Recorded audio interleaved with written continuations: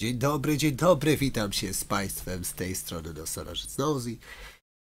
Dzisiaj e, z filmem związanym z TFT, e, gdyż w TFT ostatnio się trochę wkręciłem, ponieważ przyparło mnie, żeby wbić diament.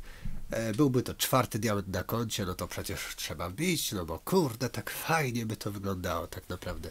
Taka iluzja e, w tej potrzebie i przyjemności, ale człowiek słaby to chce wbić.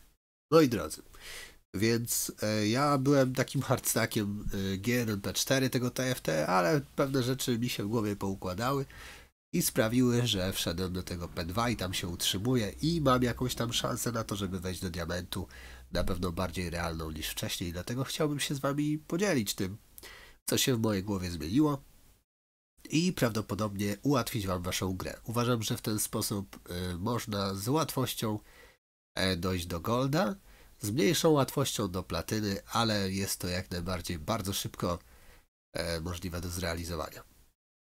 W tym materiale tak naprawdę postaram się omówić wszystko, aczkolwiek prawdopodobnie coś pominę, coś wypadnie mi z głowy, dlatego materiał ten uzupełnię artykułem, e, który zalinkuję w opisie, tudzież przy, w przypiętym poście. E, strategia jest raczej uniwersalna, jest raczej adaptacyjna, staramy się dostosować do, do sytuacji, które są nam prezentowane e, przez tę grę, ale mimo wszystko jest na tyle elastyczna, że możemy ją jakby dostosować właśnie do tych sytuacyjnych elementów, a mimo wszystko jej główne, główne aspekty da się wydobyć praktycznie w każdej grze.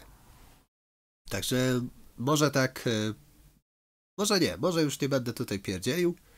E, po prostu przejdźmy do samej gry i, i na bieżąco będę starał się Wam to wszystko e, opisywać. Więc moi drodzy, gra została wcześniej nagrana, chwilkę wcześniej, gdyż łatwiej będzie mi się teraz mówiło.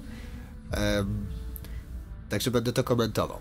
Pierwsza loteria dla nas wygląda tak, że chcemy zdobyć łuk. Łuk jest dla nas priorytetem i jeśli da się to zrobić, to to robimy. Jeśli nie da się tego zrobić, e, to bierzemy Nidlesa e, albo łezkę. W najgorszym wypadku cokolwiek nam wpadnie, to jest w porządku, ale w większości gier biorę łuk i jest to dosyć łatwe do zrobienia. E, zauważyłem, że ludzie z reguły nie skupiają się na tym, po prostu jakoś tak no nie jest ciężko go wydobyć. Także bierzemy łuk. Dlaczego łuk? E, łuk pozwoli nam zbudować dosyć stabilny setup, który prze, przekeruje nas być może przez midgame. E, setup ten polega na tym, e, że zbieramy frontline i zbieramy carry, jakieś jednostki, które będą nas po prostu kierowały. Tutaj oczywiście sprzedaję dwójkę, poleciało mi złoto, więc mogę kupić wszystkie pięć, kupuję wszystkie pięć E, wystawiam jednostki, które w miarę szybko to zczyszczą, to nie ma znaczenia tak naprawdę, co się teraz dzieje. Dlatego skupmy się na tym zamyśle. E, jeśli chodzi o frontline, e, najlepszy frontline stanowią Knighty albo jakieś Guardiany. Także to jest to, co staramy się zawsze wydobyć. A pod łuki najlepszy, najlepsze kery, które łatwo można dosyć dostać już wcześniej, to łucznicy, Mogą to być też gunslingery, też jako tako sobie poradzą. Może to być nawet Nidalka, która będzie miała, załóżmy, Rage Blade'a i później e, jakiś Blood Trister. E, w każdym razie, jeśli uda nam się wydobyć Archerów, to jednym z najlepszych itemów na early, na gunslingerach też możemy tego używać, e, jest Static Sheath. Jest to item, który po prostu kieruje bardzo wcześnie Mamy dwa łuki, dlatego w te statyki będziemy tutaj e, celować. Jeśli poleci nam Needless, no to zamiast statika zrobimy sobie Rageblade. Um, I tak to wygląda. Ogólnie obecna meta wygląda tak, że wszyscy grają Ewelinkę. Także jeśli w międzyczasie trafi się Ewelinka, to my ją zabieramy, żeby ktoś nie mógł jej dostać. E, może się zdarzyć tak, że itemizacja, która nam się trafi, umożliwi nam zrobienie perfekcyjnej Ewelinki, także to zawsze z tyłu głowy pozostaje opcją. Natomiast nie będę Wam o tym tutaj za mocno truł, e, gdyż też nie chcę Wam dawać za dużo materiału, żebyście się e, nie pogubili w tym. E, dlatego skupmy się na tym frontline, backline, po prostu tanki z przodu, kerasy z tyłu. Do tego są nam potrzebne łuki, do tego są nam potrzebne łezki, statiki, rage, rage blade. W tym wypadku... Aha, kolejna kwestia. Kolejna kwestia jest taka, że y, bardzo szybko wchodzimy w level. E, jeśli tutaj może się tak zdarzyć, że nie będziemy mieć ani jednej jednostki na drugim poziomie, e, zdarza się tak. E, w każdym razie, no w ten level staramy się wchodzić y, jak najwcześniej z tego względu, żeby zwiększyć tempo i żeby jak najszybciej dostać się do droższych jednostek. Tutaj tych archerów nie mam, więc po prostu na razie korzystam sobie z tej stanki i tak nie mogę zrobić żadnego itemka pod nią. E, kupuję tutaj jeszcze jednostkę, gdyż w razie czego mogę ją sprzedać, nie ma problemu w każdej chwili.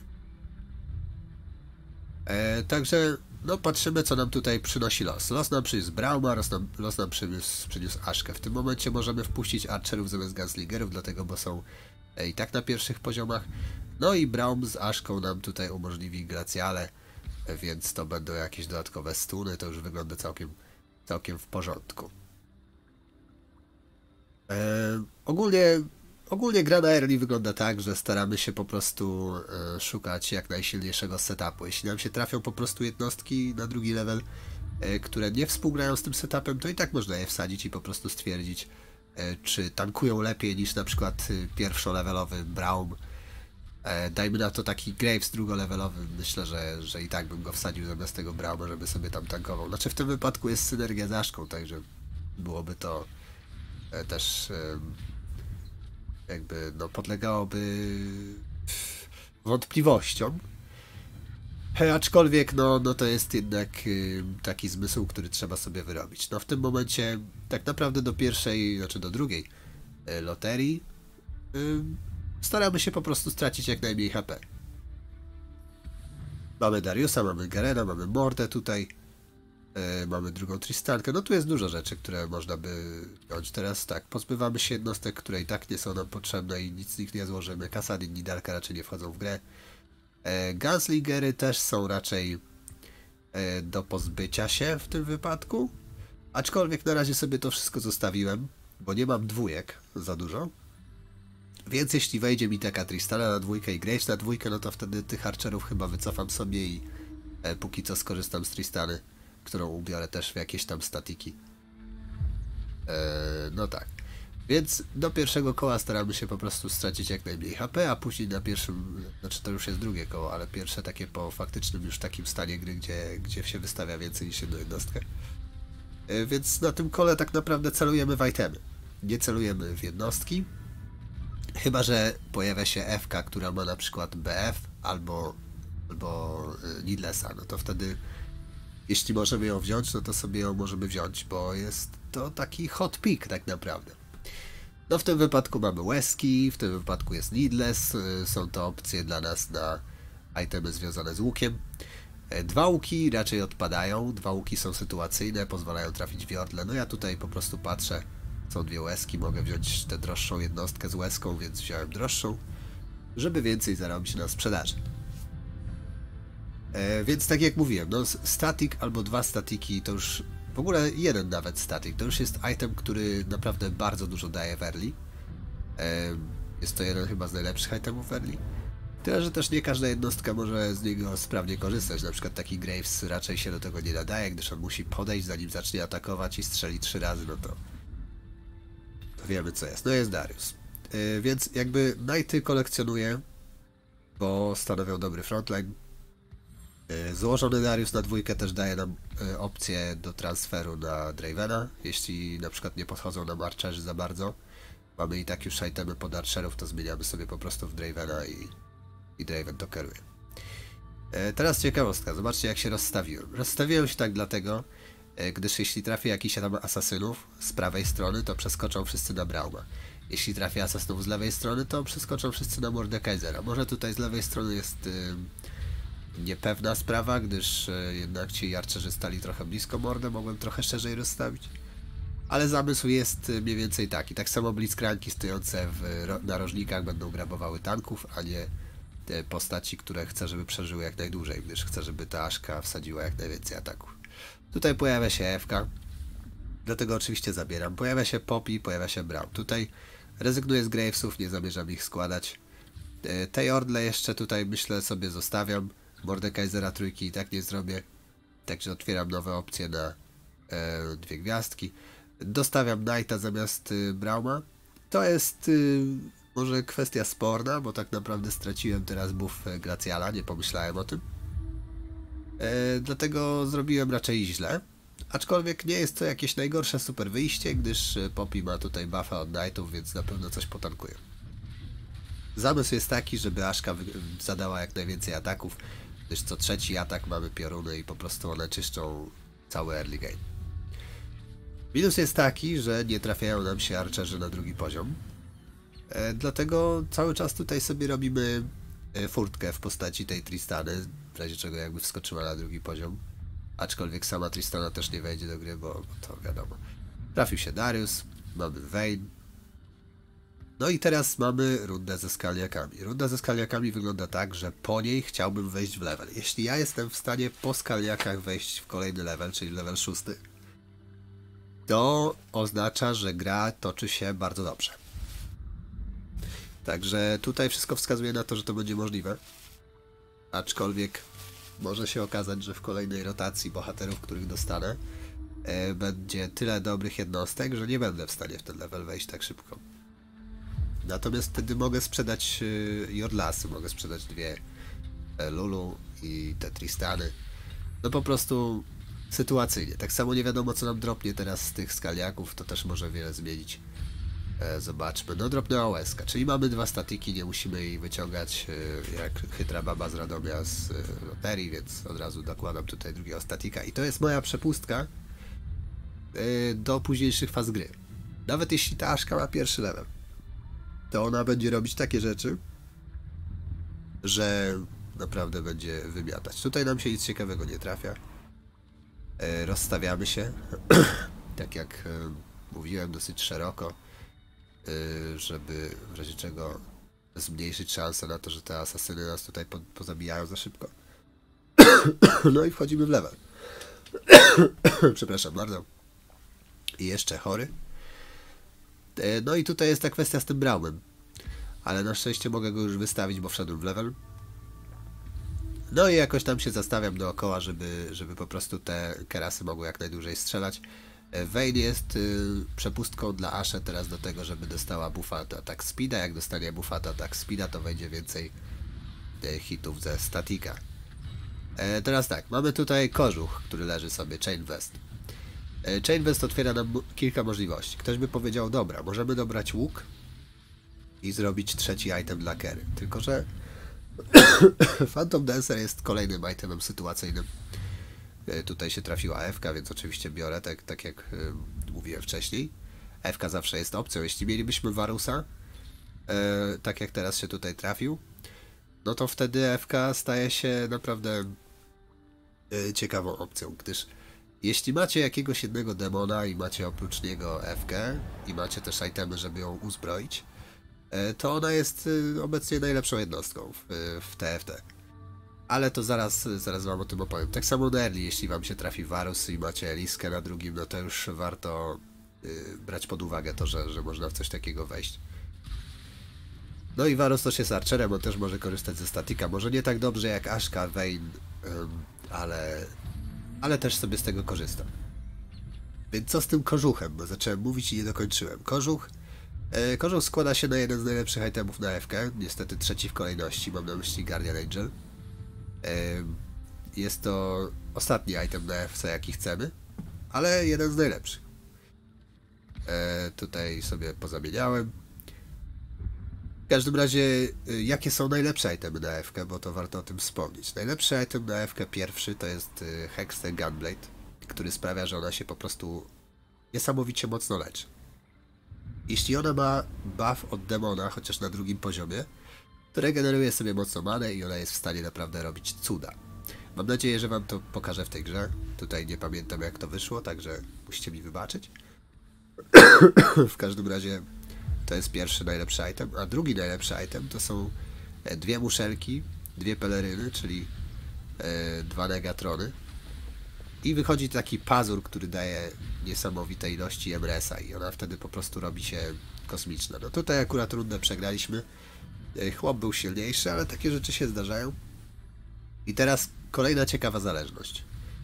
E, Ja w tym momencie gram w taki sposób. E, No tutaj mamy loterię, ja, ja przestałem ją komentować. E, Teraz tak, mogę podebrać coś pod ten kubrak. Mogę po prostu założyć, że nie będę robił tej F-ki i po prostu podebrać kolejny kubrak i wtedy zrobić e, turtmaila dla lepszego frontline'a. Teraz przegrałem, więc e, to byłoby całkiem dobrą opcją. Zresztą Sejuani, kolejny glacial. E, Także jeśli to się uda, to w to wejdę. Dobra, wróćmy, wróćmy jednak do e, tego, co mówiłem wcześniej. E, o czym ja wcześniej mówiłem? To jest dobre pytanie, już się pogubiłem. Mówiłem o tej Ewce prawdopodobnie. Ona z tymi trzema itemami naprawdę robi pogrom. To jest Gunblade, drugi jest y, właśnie ten pazur DMS-a, trzeci Guardian Angel. I ona jest w stanie sama zabijać po 6 jednostek, przeżywać i po prostu robić kosmos. E, W każdym razie musimy pamiętać, że FK dalej w tym zamyśle, który tutaj próbuję Wam przekazać, jest opcją. Ona nie jest głównym carry, e, dlatego też nie można oszaleć. Tylko, że my tutaj mamy archerów na pierwszym poziomie. Dlatego tutaj tak na razie jeszcze nic nie jest pewne w tej grze. Mamy dobry frontline, ale nie mamy zbyt dobrych carry. Dlatego tutaj jeśli trafi się Draven, to jest e, całkiem e, realny.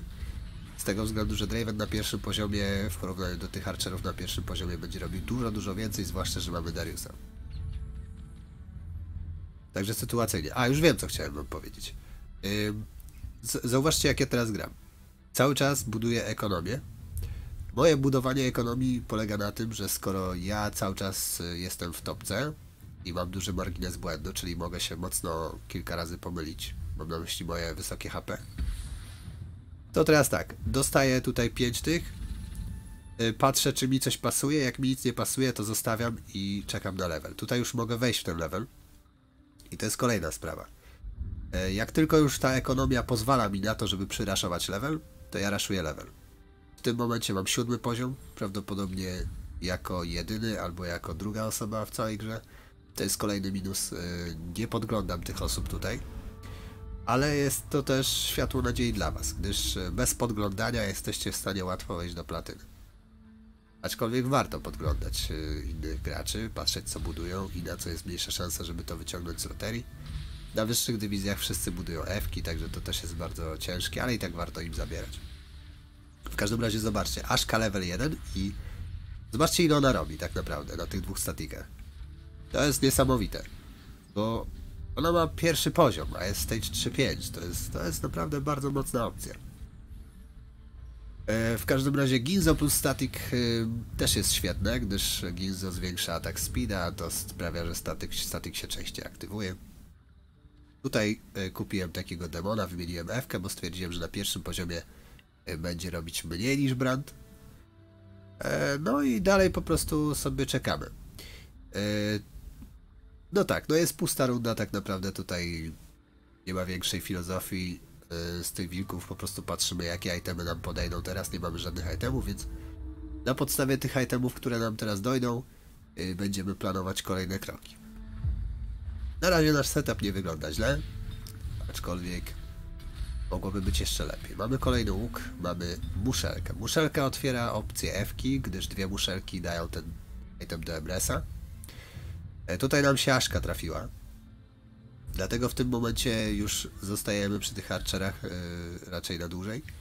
Varus też się trafił, Varus też jest bardzo fajną opcją tutaj, bo kombi się z F-ką, dlatego e, otwiera nam tę F-kę, zwłaszcza, że mamy tę muszlę. No i mamy ten łuk. Y, Łuk zawsze też może, możemy dobrać jakiegoś na przykład e, Rage Blade'a i wtedy nasza Aszka już będzie perfecto. E, Trzy statyki też są opcją. Wydaje mi się, że trzy statyki mimo wszystko się e, ze sobą łączą, ponieważ jakby nie są zależne od siebie. Po prostu ta pasywka się trzy razy aplikuje. E, Nie jestem pewien, czy tak jest, ale wydaje mi się, że tak jest. W każdym razie, no tak jak widać, jesteśmy stabilni. Jest, jest dobrze. Nasza Aszka jest bezpieczna, stoi sobie w środku. E, dookoła jest chroniona, wszyscy po prostu agrują jednostki, które są na zewnątrz, a ona sobie strzela, czyli robi robotę. Trafiła się Ewka, także Ewka już w tym momencie może wejść za Branda. E, mamy też Brauma tutaj. Tylko, że no, w tym momencie, jeśli kupię Brauma, to to będzie e, chęć próby, chęć podjęcia próby, aby rozwinąć go na trzeci poziom.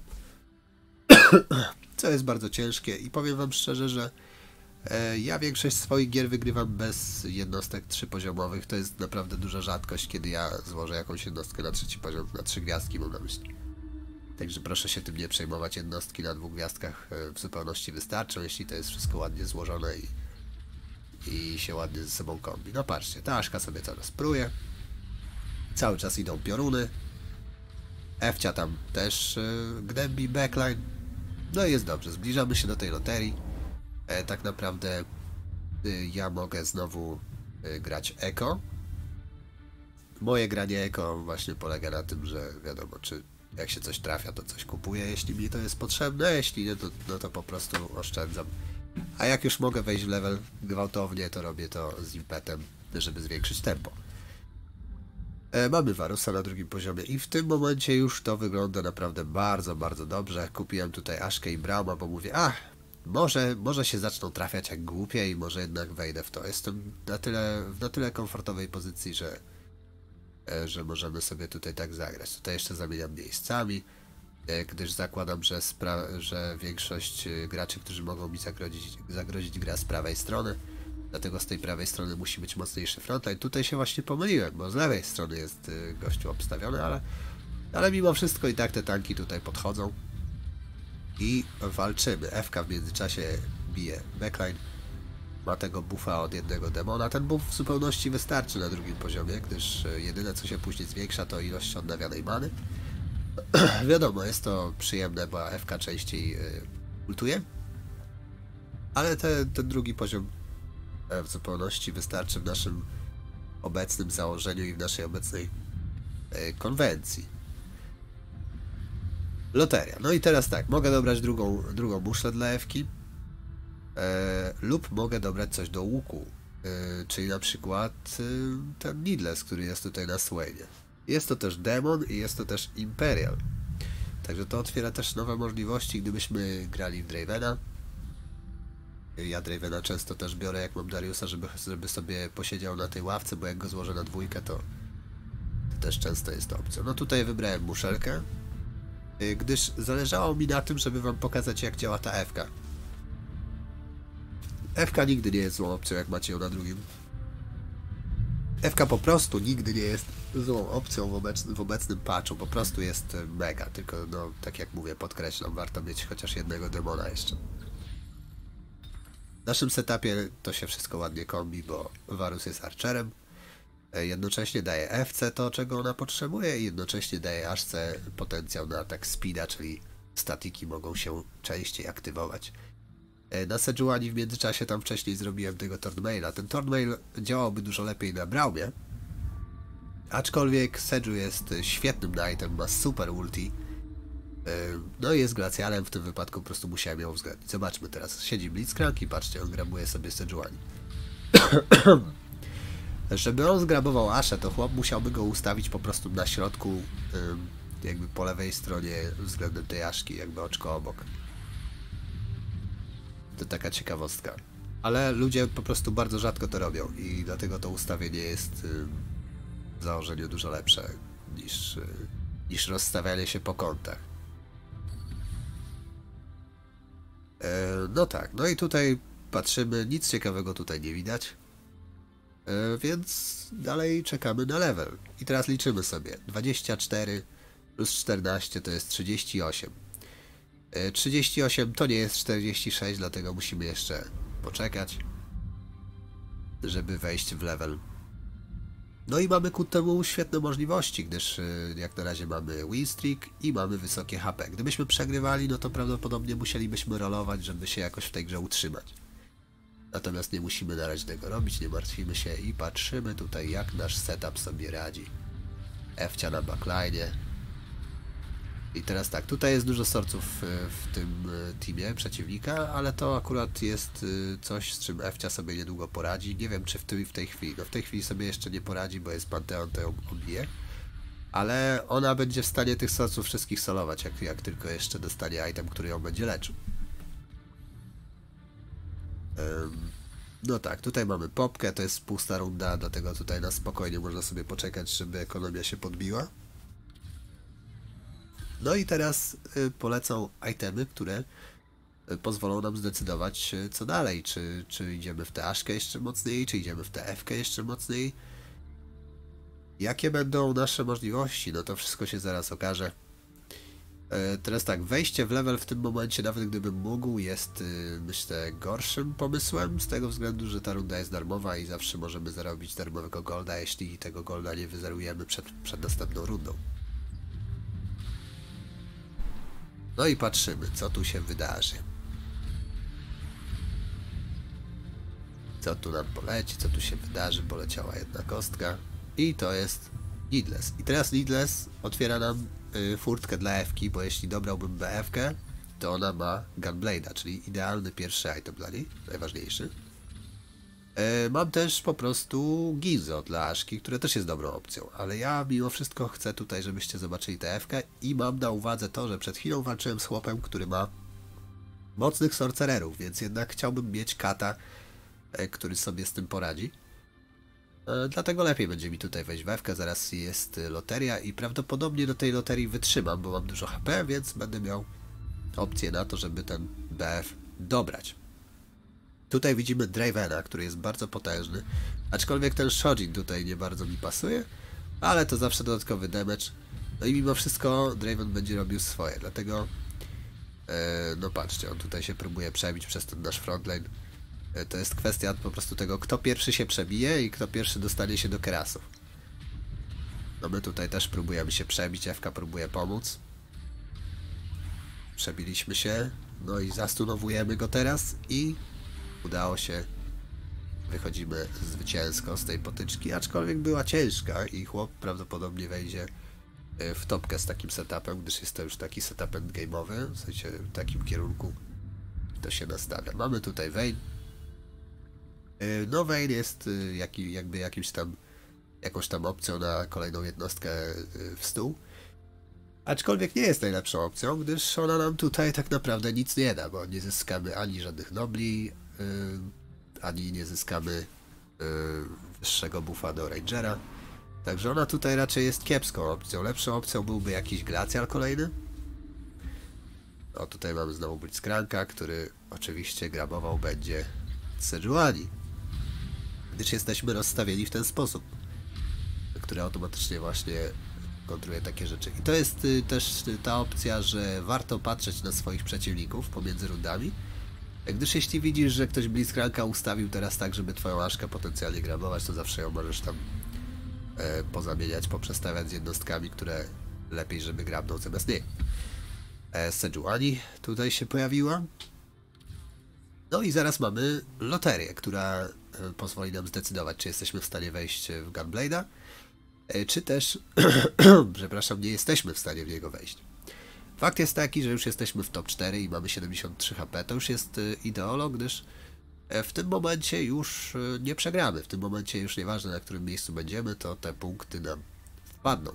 Chyba, że mamy jakieś bardzo słabe MMR-y albo dobrało nam graczy z dużo niższych dywizji i wtedy możemy na czwartym miejscu stracić zaledwie kilka punktów. W tym momencie mamy gościa, który ma dużo trójek, ale jak widzicie, my nie mamy ani jednej trójki, ale to niczego nie zmienia, bo my i tak jesteśmy w stanie przedrzeć się przez ten setup, e, gdyż po prostu nasz setup ma rączki i nóżki i jest w porządku.